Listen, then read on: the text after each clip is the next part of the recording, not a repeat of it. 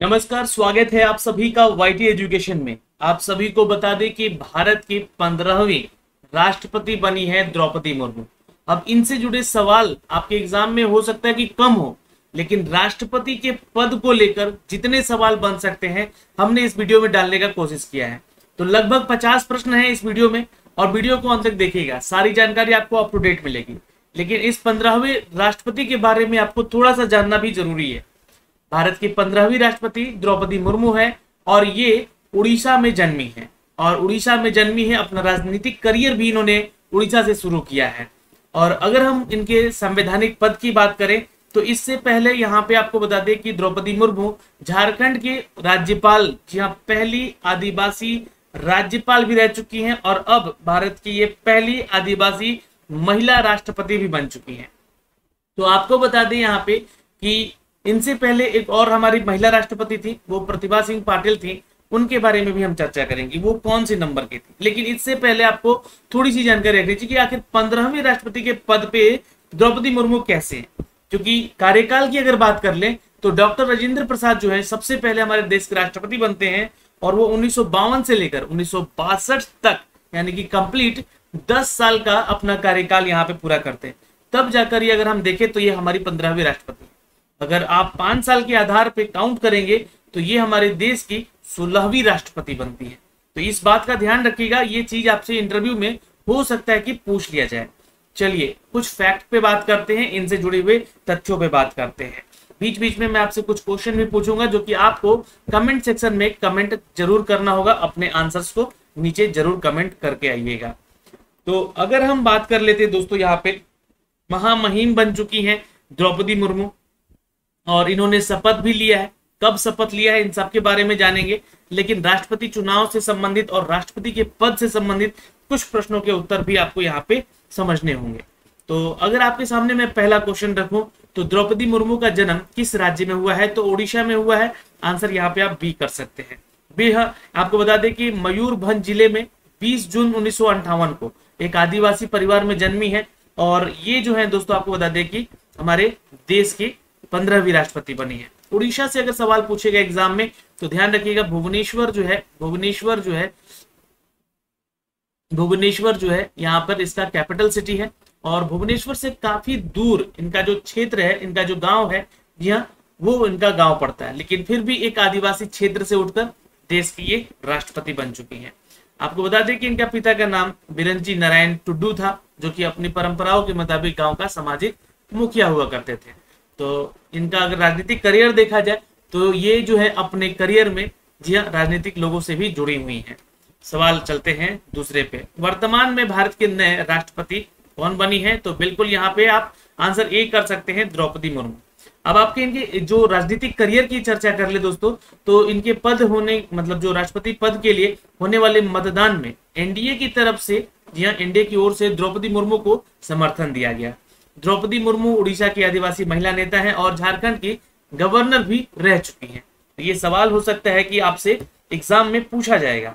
लेकिन ये ध्यान रखेंगे आप लोग थोड़ा सा यहाँ पे कि अगर ऐसे सवाल पूछे गए एग्ज़ाम में तो इसका जवाब भी आप ज़रूर करके आएँगे। तो ये अगर हो सकता है, देखिए, ज़्यादातर ये क्या है ना कि आपके एग्ज़ाम में नहीं, आपके इंटरव्यू में इनसे जुड़े हुए कुछ फैक्ट पूछ लिए जा सकते हैं। अगले सवाल पे चलते हैं। द्रौपदी मुर्मू भारत की कौन सी राष्ट्रपति बनी है? तो पंद्रहवीं राष्ट्रपति बनी है। जी हाँ नोट कर सकते हैं। अगले सवाल पे चलते हैं। भारत के राष्ट्रपति चुनाव 2022 की घोषणा कब की गई थी?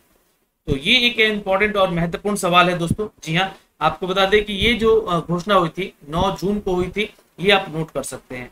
और चूँकि देखिए, राष्ट्रपति के चुनाव से संबंधित जो, या निर्वाचन से संबंधित जो विधियाँ हैं, वो कौन से आर्टिकल में आते हैं? तो आर्टिकल जो है निर्वाचन को लेकर अगर पूछा जाएगा तो ये ध्यान रखिएगा आर्टिकल पचपन में आता है, निर्वाचन की विधि को लेकर। ठीक है, क्या होता है यहाँ पे कि एक विधायक जो है, अपने मत का मूल्य जो है, वो प्रदर्शित करता है। ठीक है, जिसमें कि एक बटे एक हज़ार निर्वाचित सदस्यों की संख्या भी कैलकुलेट की जाती है। राज्यों की कुल जनसंख्या जो होती है, बटे में जो कि उस राज्य के विधानसभा की कुल निर्वाचित सदस्यों की संख्या होती है। तो इस तरह से हम निर्वाचन कर सकते हैं आर्टिकल पचपन के तहत। अगले सवाल पे चलते हैं। राष्ट्रपति चुनाव 2022 के लिए मतदान कब हुआ? तो ये आंसर कर लीजिएगा दोस्तों, ये मतदान हुआ है 18 जुलाई को। इसी महीने में हुआ है। आंसर कर लीजिएगा 18 जुलाई को। Is the right answer. सवाल एक बनेगा ज़रूर यहाँ पे कि राष्ट्रपति को शपथ कौन दिलाता है?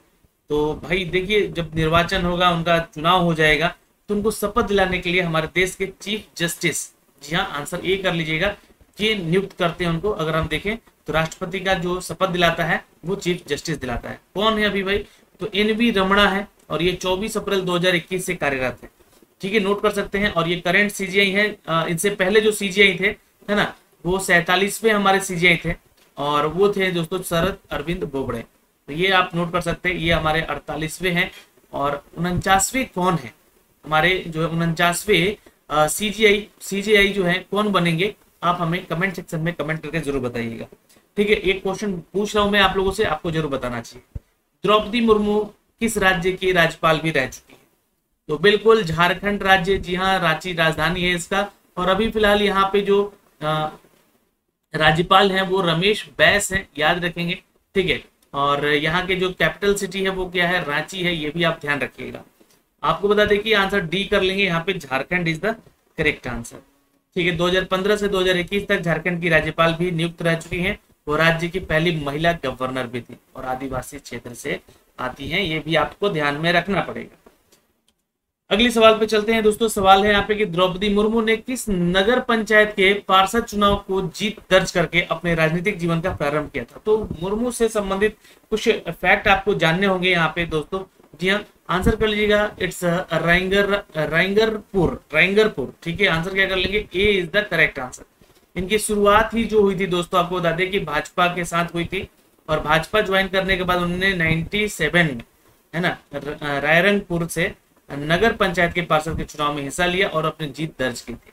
भाजपा ने मुर्मू को पार्टी में अनुसूचित जनजाति मोर्चा का उपाध्यक्ष बना दिया और ये पहली महिला उपाध्यक्ष थी, ये भी ध्यान रखिएगा। नेक्स्ट क्वेश्चन पे चलते हैं। क्वेश्चन नंबर यहाँ पे है कि संविधान के किस अनुच्छेद के अनुसार भारत एक राष्ट्रपति होगा? तो भारत का एक राष्ट्रपति जी हाँ किस आर्टिकल के तहत होगा तो ये ध्यान रखिएगा आर्टिकल बावन के तहत। देखिए आर्टिकल जो हमारा बावन है, उसके तहत क्या है? तो हमारा भारत का एक राष्ट्रपति होना है, ये बताया गया लेकिन आर्टिकल तिरपन जो था, है ना, ये सब जानना ज़रूरी है आपको फैक्ट जानना ज़रूरी है। आर्टिकल तिरपन जो है, ये संघ की कार्यपालिका शक्ति जो है, राष्ट्रपति में निहित होगी, ऐसा बताया गया है, और वो प्रधानमंत्री इसका प्रयोग कर सकेगा, ठीक है? आर्टिकल तिरपन में क्या कहा गया है? तो आर्टिकल तिरपन में कहा गया है कि संघ की कार्यपालिका शक्ति राष्ट्रपति में निहित होगी। किसमें राष्ट्रपति में। किसकी? तो संघ की कार्यपालिका। ठीक है तो ये ध्यान रखिएगा और इसमें प्रधानमंत्री और मंत्री परिषद की सलाह के अनुसार ही ये कार्य करेगा। आर्टिकल चौवन क्या कहता है हमारा यहाँ पे? ध्यान रखिएगा, ये भी हमारे राष्ट्रपति से जुड़ा हुआ है कि राष्ट्रपति का निर्वाचक मंडल इसके संसद और विधानसभाओं के निर्वाचित सदस्यों में भाग लेता है। तो आंसर यहाँ पे आप ये जो है सॉरी सी कर लीजिएगा, है ना? सी कर लीजिएगा, यहाँ पे नोट कर सकते हैं। और यहाँ पे आपका इसका संशोधन किया गया था उन्नीस सौ बानवे में, ठीक है? उन्नीस में दिल्ली और पौंडीचेरी को लेकर के इसके अंतर्गत शामिल किया गया किसको? भाई, राष्ट्रपति को, क्योंकि यहाँ पे क्या है? केंद्र शासित राज्य और केंद्र यानी कि संघ का शासन है। तो ये जो है, संघ का शासन को जो केंद्रित करता है, वो राष्ट्रपति करता है। ये आपको पता होना चाहिए। तो आर्टिकल चौवन में निर्वाचक मंडल जो है, इसमें संसद और विधानसभाओं के निर्वाचित सदस्यों में भाग ले सकता था, ऐसा कहा गया और ये जो संविधान संशोधन था, ये सत्तरवा संविधान संशोधन ठीक है तो ये फैक्ट आपको ध्यान में रखना होगा यहाँ से। अगले सवाल पे चलते हैं। भारत का प्रथम नागरिक कौन होता है? तो एग्जैक्टली यहाँ पे आंसर करेंगे सी यानी कि राष्ट्रपति होता है इज़ द करेक्ट आंसर ये हमारे जो है, भाग एक में ही इसका वर्णन कर दिया गया है, हमारे संविधान के। ठीक है, अनुच्छेद एक में ठीक है आर्टिकल एक में भारत का प्रथम नागरिक कौन होता है? तुम्हारा राष्ट्रपति होता है। भारत के राष्ट्रपति का कार्यकाल कितने वर्ष का होता है? तो पाँच साल का होता है, याद रखिएगा। आंसर इंपॉर्टेंट है। अगले सवाल पे चलते हैं। भारत के राष्ट्रपति कितन, किस, किन के द्वारा चुने जाते हैं? मैंने आपको बताया, आर्टिकल 55 में निर्वाचन की विधि होती है। ठीक है, आर्टिकल छप्पन में जो होता है, राष्ट्रपति के कार्यकाल या उसके पद की अवधि होती है। यानी कि जो कितने साल का होता है तो ये आर्टिकल हमें कौन बताता है? छप्पन बताता है। याद रखिएगा, पाँच साल में रह सकता है और उसको हटाना है तो आर्टिकल सिक्सटी वन यानी कि महाभियोग लगाते हैं है ना, महाभियोग लगाते हैं, तब इनको हम लोग हटा सकते हैं। ये ध्यान सकते हैं। और इनको अगर त्याग भी पत्र देना होगा तो किसको देता है? अपना उपराष्ट्रपति को।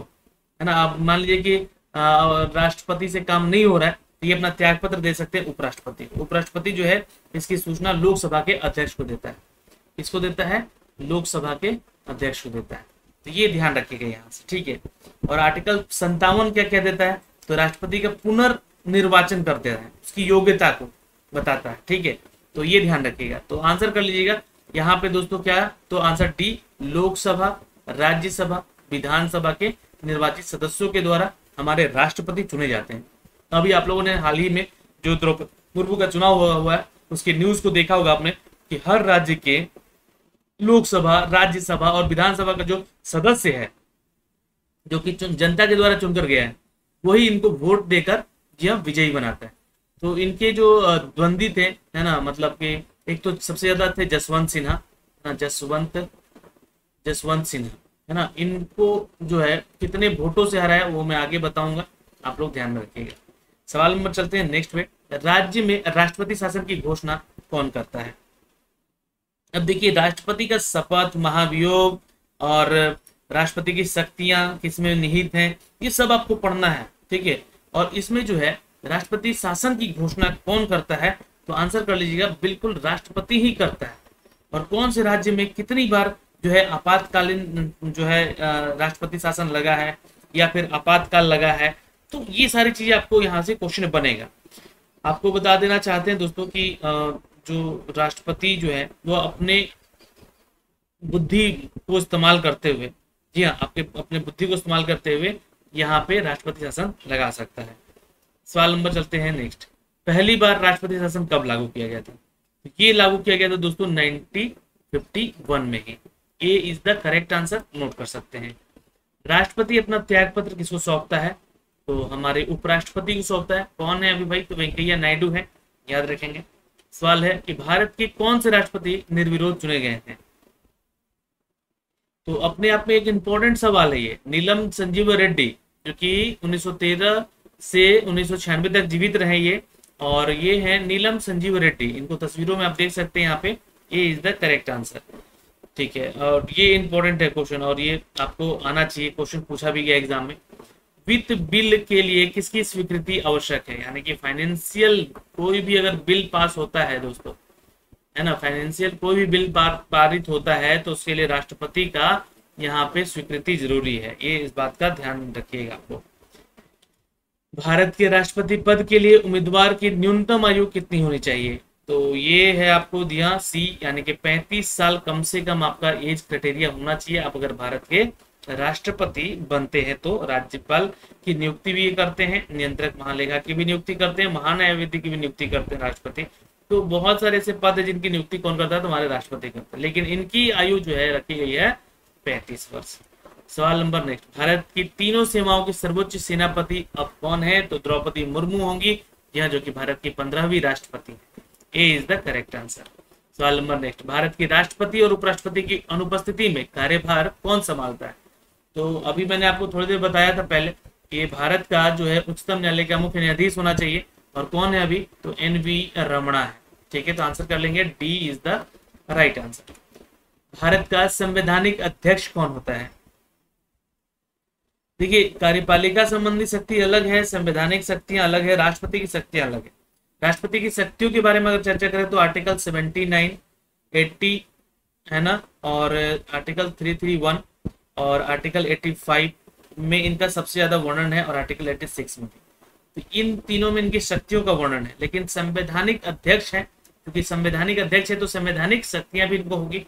तो ये आपको बता दें कि ये राष्ट्रपति में निहित है तो C is the correct answer note कर सकते हैं दोस्तों। आर्टिकल अगर सेवेंटी नाइन की बात करें दोस्तों यहाँ पे तो इसके अंतर्गत राष्ट्रपति संसद का व्यवस्थापिका का एक अभिन्न अंग माना जाता है, ये कहा गया है ना? अभिन्न अंग बोला गया है।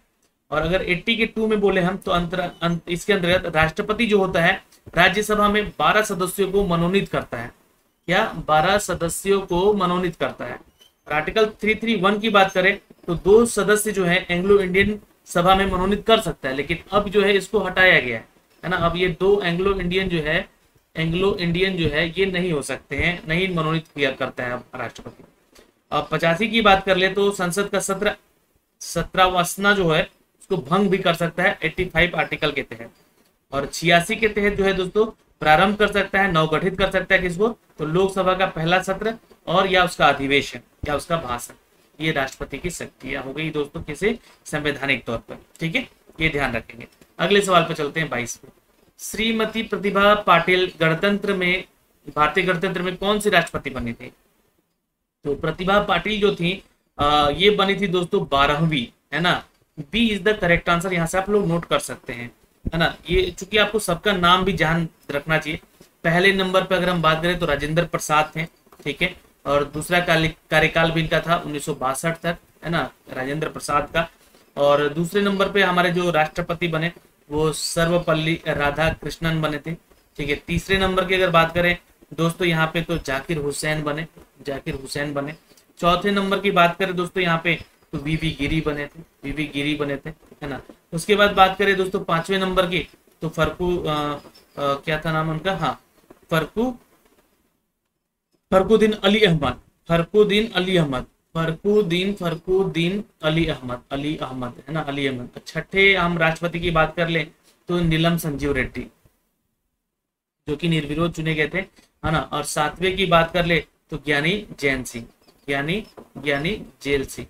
है ना जेल सिंह, याद रखेंगे। और सातवें के बाद अगर आठवें की बात कर ले तो आपको बता दें कि आर के वेंकट रमन आर के वेंकट रमन आर के वेंकट रमन नौवे की बात कर ले दोस्तों, यहाँ पे तो डॉक्टर शंकर दयाल शर्मा, डॉक्टर शंकर दयाल शर्मा, ठीक है? दसवें की बात कर ले दोस्तों, यहाँ पे तो आर के नारायण, आर के नारायण, ठीक है? और ग्यारहवें पद की बात कर ले तो एपीजे अब्दुल कलाम एपीजे अब्दुल कलाम। और बारहवें पद की बात कर ले तो श्रीमती प्रतिभा पाटिल यहाँ नोट कर सकते हैं। 2007 से लेकर 2012 तक ये रही हैं। ठीक है। और तेरहवें की बात कर ले तो प्रणव मुखर्जी बने थे। प्रणव मुखर्जी बने थे। और यहाँ पे दोस्तों जो हमारे चौदहवें हमारे बने थे, वो रामनाथ कोविंद बने थे। रामनाथ कोविंद बने थे। और अब पंद्रहवें बने हैं जी हाँ द्रौपदी मुर्मू, जो कि एक आदिवासी महिला प्रथम राष्ट्रपति बनी है, द्रौपदी मुर्मू।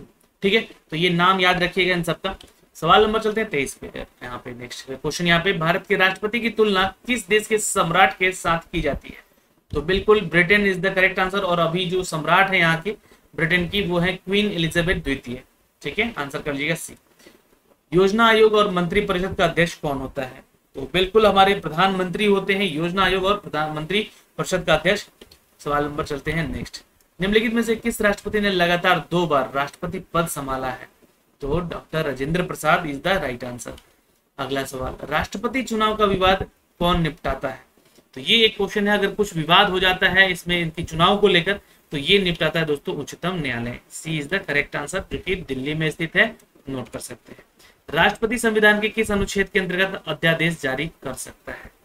तो मैंने आपको अभी उनकी शक्तियाँ बताई तो आंसर आप लोग कीजिएगा यहाँ पे। जी आर्टिकल 123 का उपयोग करके, ठीक है? आंसर क्या कर लेंगे? आर्टिकल 123 का लेकर। आंसर क्या कर लेंगे? 123 इज़ द राइट आंसर यदि भारतीय उपराष्ट्रपति अपना त्याग पत्र देना चाहे, निर्णय लेता है तो वह अपना त्याग पत्र किसको संबोधित करते हैं? यानी उपराष्ट्रपति की बात हो रही है है ना? ध्यान रखिएगा। वाइस प्रेसिडेंट की बात हो रही है दोस्तों यहाँ पर। तो ये अपना जो है त्याग पत्र देता है राष्ट्रपति को, ठीक है? किसको देता है भाई? राष्ट्रपति को देता है। ये भी एक ध्यान रखिएगा। महाभियोग से भी हटाया जाता है राष्ट्रपति को और उपराष्ट्रपति को भी। लेकिन अगर उपराष्ट्रपति भी अपना त्याग पत्र देना चाहे तो वो राष्ट्रपति को देगा। और राष्ट्रपति अपना त्याग पत्र देना चाहे तो वो उपराष्ट्रपति को देगा। ये दोनों चीज़ें ध्यान में रखिएगा, है ना? और इसको भाई जो है, हमारे उच्चतम न्यायालय का न्यायाधीश जो है, वो क्या करता है? इसको देखता है। यानी कि इसके ऊपर गहन अध्ययन करता है। सवाल अगले पे चलते हैं। दोस्तों, विदेशी देशों के सभी राजदूतों का कमिश्नरों के प्रत्यय पत्र किसके द्वारा प्राप्त किया जाता है? विदेशी देशों के सभी राजदूत, जो कि एम्बेसडर होते हैं हमारे देश के, जो अलग अलग कंट्रीज़ में होते हैं, उन कमिश्नरों का प्रत्यय पत्र, है ना? तो ये देखते हैं दोस्तों हमारे देश के राष्ट्रपति। D is the correct answer note कर सकते हैं। और इम्पोर्टेंट है ये भी क्वेश्चन आ सकता है आपके परीक्षा में। तो अच्छा एक सवाल और पूछ लिया जाएगा कि राष्ट्रपति के पद जो है वो किस आर्टिकल के तहत निहित है? तो आर्टिकल बावन के तहत निहित है ना? राष्ट्रपति का प्रावधान किया गया है बावन के तहत। मैंने आपको स्टार्टिंग में बताया। ठीक है, ये ध्यान रखेंगे। सवाल नंबर राष्ट्रपति जो है, संविधान के किस अनुच्छेद के अंतर्गत राष्ट्रपति जो है, संघीय मंत्रिपरिषद की सलाह मानने के लिए बाध्य है? तो बिल्कुल आंसर कर लीजिएगा दोस्तों, आर्टिकल चौहत्तर। जी हाँ नोट कर सकते हैं, आर्टिकल चौहत्तर। ये एक एक्सपेक्टेड क्वेश्चन है और ये आया भी हुआ है एग्ज़ाम में आपके, है ना? आर्टिकल चौहत्तर याद रखेंगे। सवाल नंबर चलते हैं नेक्स्ट भारत के राष्ट्रपति की मर्ज़ी तक निम्नलिखित में से कौन अपने पद पर रह सकता है? बिल्कुल आंसर कर लीजिएगा, किसी भी राज्य का राज्यपाल, है ना? किसी भी राज्य का, किसी भी राज्य का, किसी भी स्टेट का या गवर्नर तो अपने पद पे रह सकता है जब तक कि राष्ट्रपति की मर्ज़ी है तब तक। सवाल नंबर नेक्स्ट भारतीय गणतंत्र का वह कौन सा राष्ट्रपति था जो सदा भारतीय धर्मनिरपेक्ष को सर्वधर्म संभाव कहता रहा? एग्जैक्टली exactly, राधा कृष्णन जी हाँ आंसर कर लीजिएगा। D is the correct answer next निम्नलिखित में से कौन सा राष्ट्रपति निर्वाचन का भाग है? परंतु उसके महाभियोग अधिकरण का भाग नहीं है। तो आंसर कर लीजिएगा दोस्तों इट्स सी राज्यों के विधानसभा। या इसका निर्वाचन होता है तो ये लोग सभी पार्टिसिपेट करेंगे। लेकिन महाभियोग में इसको हटाने के लिए ये पार्टिसिपेट नहीं कर सकते। ठीक है तो ये ध्यान रखिएगा आंसर सी हो जाएगा इज़ द राइट आंसर राष्ट्रपति पद के उम्मीदवार के लिए अधिकतम आयु कितनी होती है? तो अधिकतम पूछा गया है, इसलिए पैंसठ साल से ज़्यादा भी नहीं होनी चाहिए। लेकिन ये ध्यान रखेंगे कि आप 35 वर्ष के हैं, तभी आप इसका चुनाव लड़ सकते हैं। सवाल नंबर नेक्स्ट व्यक्ति राष्ट्रपति पद के लिए अधिकतम कितनी बार निर्वाचित हो सकता है? अब बिल्कुल यहाँ पे आंसर कर सकते हैं। जी हाँ आंसर डी कर लीजिएगा। पाँच बार निर्वाचित हो सकते वैसे तो हमारे राष्ट्रपति डॉक्टर राजेंद्र प्रसाद दो ही बार सबसे अधिक बार बने हैं, लेकिन वो निर्वाचित हो सकता है। दोस्तों, पाँच बार याद रखिएगा। एक क्वेश्चन है। राष्ट्रपति का निर्वाचन किस प्रकार से होता है? तो बिल्कुल आंसर कर लीजिएगा। ये होता है अप्रत्यक्ष तौर पर क्योंकि इसमें जो हमारे संसद के लोकसभा, है ना, लोकसभा, राज्यसभा और विधानसभाओं के जी हाँ सदस्य शामिल होते हैं। तो ये अप्रत्यक्ष है, जो कि प्रत्यक्ष होता तो ये हमारे जनता भी इसमें शामिल होती। सवाल नंबर नेक्स्ट पे चलते हैं। राष्ट्रपति के चुनाव के लिए प्रस्तावक और अनुमोदक कम से कम कितनी संख्या होनी चाहिए? तो ये बता चुके हैं आप लोग को, आंसर कर लीजिएगा फिफ्टी फिफ्टी होना चाहिए। ये अनुमोदकों और कम से कम जो है, प्रस्तावकों की संख्या फिफ्टी फिफ्टी होनी अनिवार्य है। नोट कर सकते हैं दोस्तों यहाँ पे। राष्ट्रपति चुनाव संबंधी मामले किसके पास भेजे जाते हैं? तो आंसर कर लेंगे मित्रों यहाँ पे। जी हाँ आंसर कर लेंगे। इट्स ए उच्चतम न्यायालय के पास भेजे जाते हैं। A is the correct answer अगले सवाल पर चलते हैं। राष्ट्रपति पद के उम्मीदवारों को चुनाव प्रचार हेतु कितना समय मिलता है? तो चौदह दिन कह लीजिए या दो हफ़्ता कह लीजिए आंसर टी कर लीजिए सी और डी दोनों ही, ठीक है? नोट कर लीजिए नेक्स्ट क्वेश्चन पे चलते हैं। किस अनुच्छेद के तहत राष्ट्रपति अपने पद ग्रहण करने की तिथि पाँच वर्ष की अवधि तक अपने पद पर बना रहता है? तो यहाँ पे अनुच्छेद यानी कि आर्टिकल पूछा गया है, दोस्तों, याद रखिएगा, पाँच साल के लिए बना रहता है।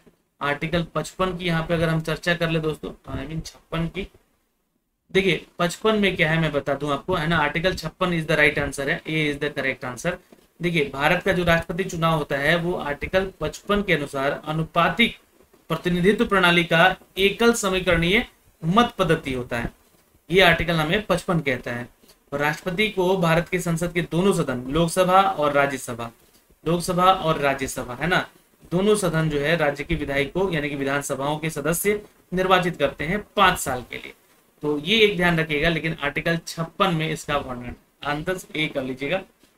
इज़ द करेक्ट आंसर सवाल नंबर चलते हैं नेक्स्ट राष्ट्रपति को हटाया जा सकता है।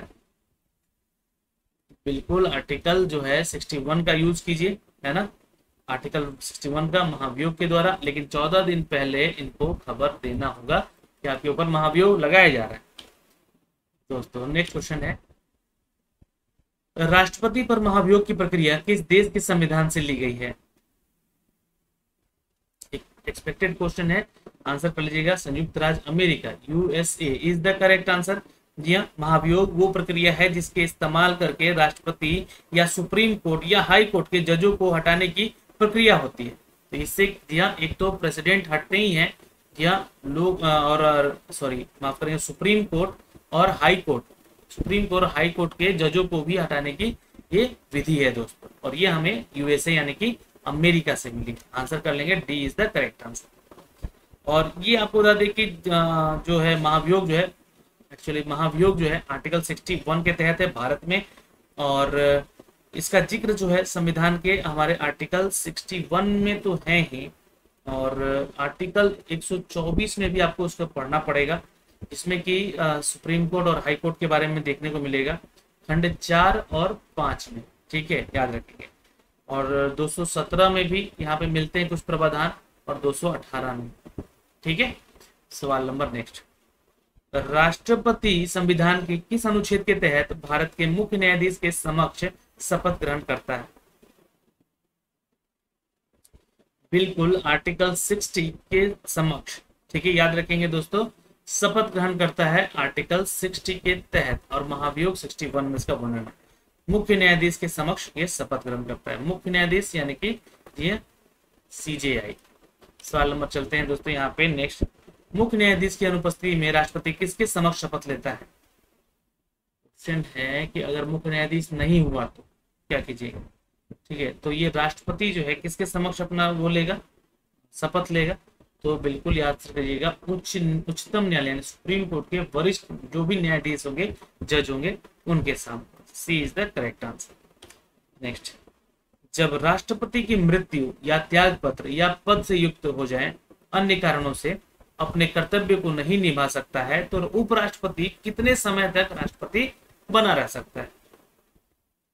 एग्जैक्टली exactly, यहाँ पे आंसर कर लीजिएगा ए छह महीने के लिए बने रह सकते हैं ठीक है? सवाल नंबर नेक्स्ट भारतीय संविधान का कौन सा अनुच्छेद राष्ट्रपति के पद के लिए पुनः निर्वाचित करने की योग्यता निर्धारित करता है? पुनः, है ना? पुनः निर्वाचन का हमने आपको बताया आर्टिकल है ना? आर्टिकल 55 के तहत याद रखिएगा दोस्त।